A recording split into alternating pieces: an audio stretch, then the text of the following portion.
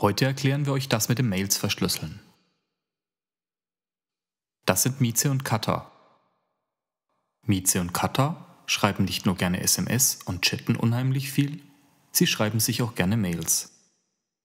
Was beide doof finden, sind Leute, die da einfach mitlesen könnten, wenn sie wollten.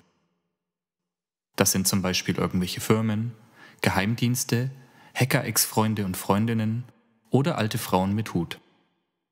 Damit Katha das nicht passiert, benutzt sie schon PGP zum Verschlüsseln ihrer Mails.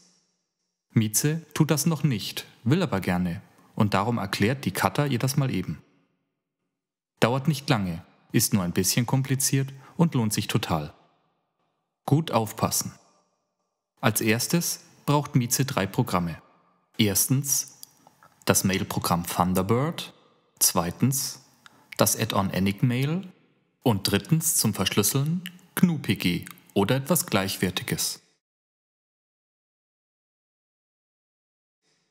Die lädt sich einfach vom jeweiligen Anbieter herunter. Die Programme kosten nichts und sie sind Open Source. Dann geht's ans Installieren. Als erstes muss sie GNU-PG installieren.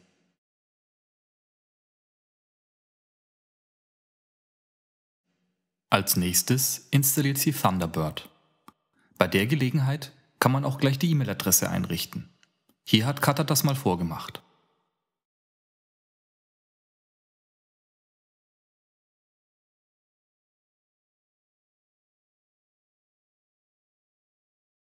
Jetzt kommt auch schon der komplizierte Teil, das Erstellen des Schlüssels. Nein, nicht so ein Schlüssel, ein PGP-Schlüssel. PGP heißt Pretty Good Privacy, aber Katha meint, dass das ja öde ist und hat es in pornogeile Privatsphäre umgetauft. Aber zurück zum Schlüssel. Um den zu erstellen, muss Mieze nun Enigmail installieren. Enigmail ist ein Add-on von Thunderbird und kann darum auch ganz einfach unter den Add-ons gefunden werden. Sobald Enigmail installiert ist, kann Mieze beim Schreiben einer Mail auswählen, ob sie die gern verschlüsseln will oder nicht. Wenn sie sich dafür entscheidet, dass sie die Mail verschlüsseln will, braucht sie einen Schlüssel. Diesen Schlüssel erstellt sie mit dem Programm.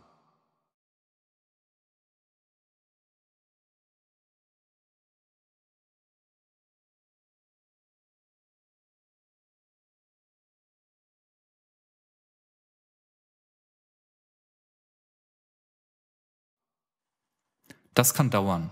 Darum kocht sie Katha und sich erstmal einen Kaffee. Außerdem erstellt das Programm ein Rückrufzertifikat, mit dem sie ihren Freunden Bescheid geben kann, wenn sie ihren Schlüssel oder das Passwort verschludert hat. Soll ja mal passieren bei Leuten, die sich alles aufschreiben müssen. Das Programm erstellt für Mieze also einen öffentlichen Schlüssel und einen privaten Schlüssel. Den öffentlichen Schlüssel gibt sie an Katha und ihre Freunde weiter. Außerdem entscheidet sie sich dafür, ihn auch noch auf einem öffentlichen Server hochzuladen, damit andere Leute ihr ebenfalls verschlüsselte Mails schicken können. Muss man aber nicht machen, denn am sichersten ist es immer noch, den Schlüssel persönlich weiterzugeben. Dann weiß man auch, dass er wirklich echt ist. Das ist wichtig, denn sonst könnte ja jeder behaupten, er wäre Katha oder Mieze oder Sascha oder Kevin. Mieze bekommt außerdem den öffentlichen Schlüssel von Katha, denn ohne Kathas öffentlichen Schlüssel kann sie keine Mails an sie verschlüsseln.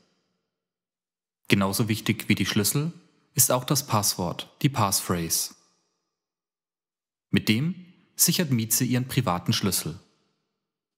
Dieses Passwort gehört genauso wenig in fremde Hände wie der private Schlüssel. Denn ohne das Passwort kann sie keine Mails ver- oder entschlüsseln. Eine verschlüsselte Mail sieht übrigens so aus.